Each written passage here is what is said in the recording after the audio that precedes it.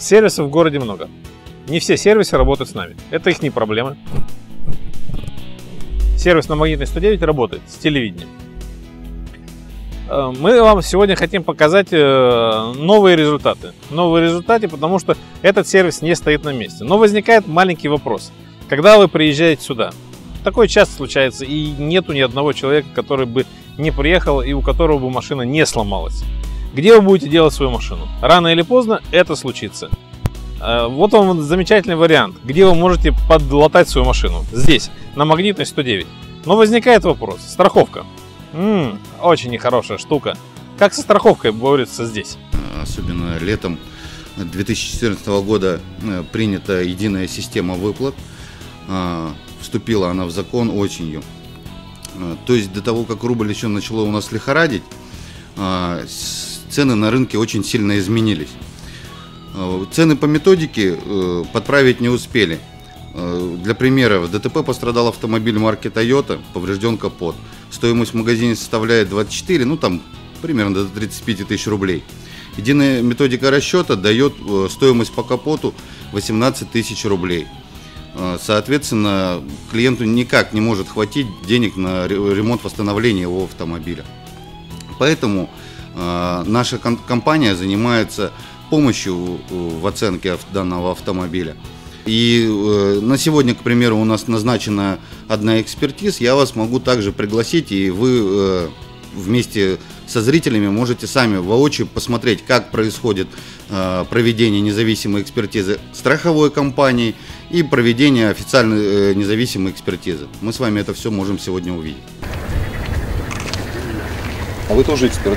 А документики есть? Направо, направо смотрим. Право Ну что вы являетесь экспертом? Нет, нет, с собой. Все есть в Ну, это офисе. же у нас. нарушение, правильно? У нас есть в офисе все документы. Мы с собой возим. Почему вы с собой удостоверение не Вы эксперт? Да. Показать можете? Удостоверение нету? Есть. Личность, пожалуйста, паспорт. Кому? На камеру. Ай-яй-яй.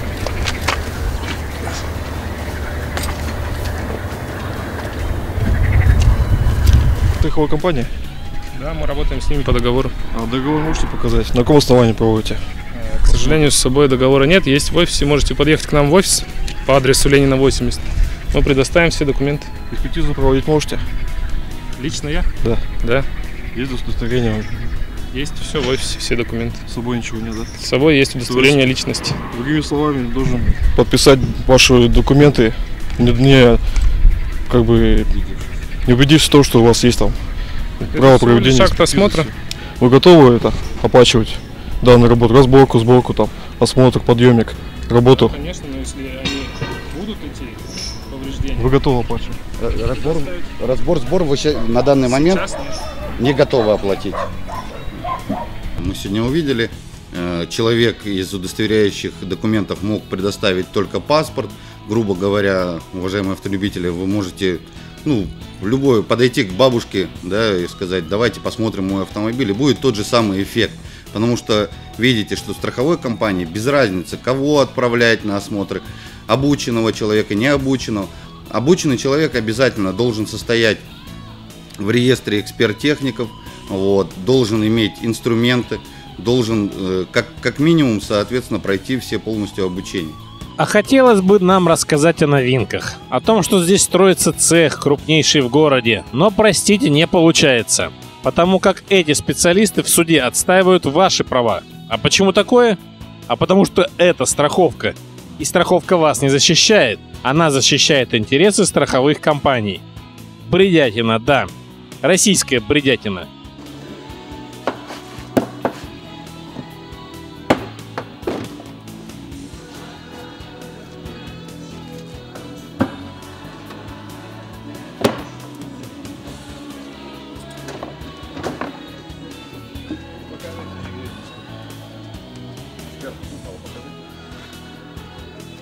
Сломан крепеж бампера. Деформация крепежей.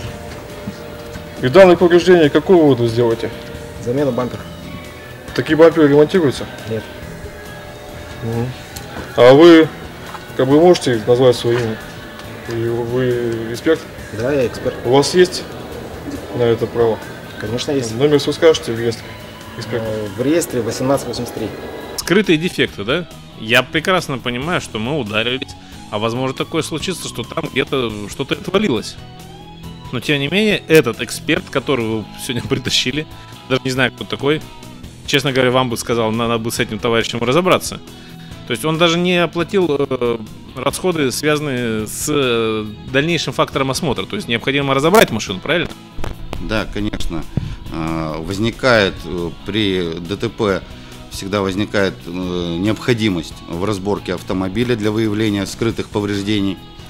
А, Камнем преткновения является в том, что э, автосервисы предоставляют площади, подъемники, рабочую силу, но бесплатного ничего нет. Страховая компания на сегодня также вы услышали, что оплачивать данные услуги не хочет. Ну, конечно, не хочет. Ей неинтересно э, заниматься проведением скрытых дефектов, а также незначительный ущерб по данному сегодня автомобилю показал, что сломано крепление, а это, мы скажем, не одна тысяча рублей. Ну вот. Надо восстанавливать. Страховая компания не будет деньги выплачивать. Не провела, не будет выплачивать. Почему такое случается? Непонятен результат. Мы платим за машину в кредит. Это наше право. И вы давайте, как оцениваете, так и платите. Потому как в большинстве случаев мы покупаем запчасти у оригиналов. Не парьте нам мозги, плиз. Удар был такой нормальненький, да? Человек бы не попал на сумму бампера. А бампер, извините, 9 тысяч стоит. То же самое и у всех остальных. Вы готовы пободаться и доказать э, в суде, что страховая была не права? Да, однозначно. Здесь немного не соглашусь. Не то, что как к хламу, а страховые относятся к нам, э, я такой же автолюбитель, как к быдлу. Вот.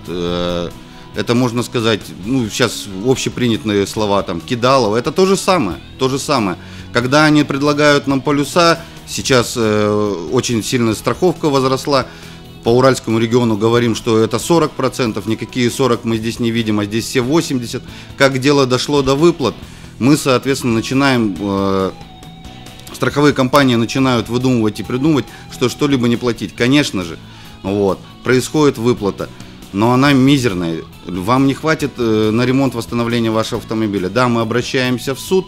Суды на данный момент мы очень рады, что стоят на стороне автолюбителей. И суды выигрываются. Суды выигрываются, вы получаете законом, которые положены вам деньги. Но, правда, без судов мы здесь обойтись не можем. Вот такова она российская действительность. И когда все дорастет до принципов Америки или Индии, непонятно. Хотя часть-то есть. Здесь на СТО на Казачьи в большей степени работают для вас. Укрывают машину, разбирают ее и быстро делают. И это приятно. Ну а в скором времени здесь достроят нормальный комплекс, и у вас будет место, где вы просто оставите ударенную машину, и в скором времени заберете новую, блестящую. Сюда я уже не первый раз обращался. Ремонтировали мне машину до этого, там по датчику, ну мелочев. Ремонт мне понравился, меня все удовлетворило. Почему к независимым экспертам обратился? Потому что, во-первых, э, вот эти выплаты, слухи много по городу ходят, что э, страховые компании, во-первых, застраховать машину очень тяжело. Если не очередь, то и цены, и дополнительные услуги навязывают. А в случае какого-то ДТП э, как бы стараются меньше выплатить, что ли. Да, выплатят, выплатят. Суды прекрасно понимают, что такое страхование российское. Но, простите, судиться с страховщиками придется. Хотя не каждый пойдет в суд. А работники СТО на Казачьи это сделают за вас. Так что понимаете, да, кто за вас стоит спиной? Кто за вас идет и в бой, и в суды? Это люди, которые работают здесь, на сервисе на Магнитной 109. Представляете? Люди работают, люди отбивают ваши деньги. Потому что если бы они это не делали, вы бы не получили необходимую вам сумму. И вам пришлось бы за это дело доплачивать. А платить-то как-то сильно не хочется. Потому что это типа замечательно, страховка.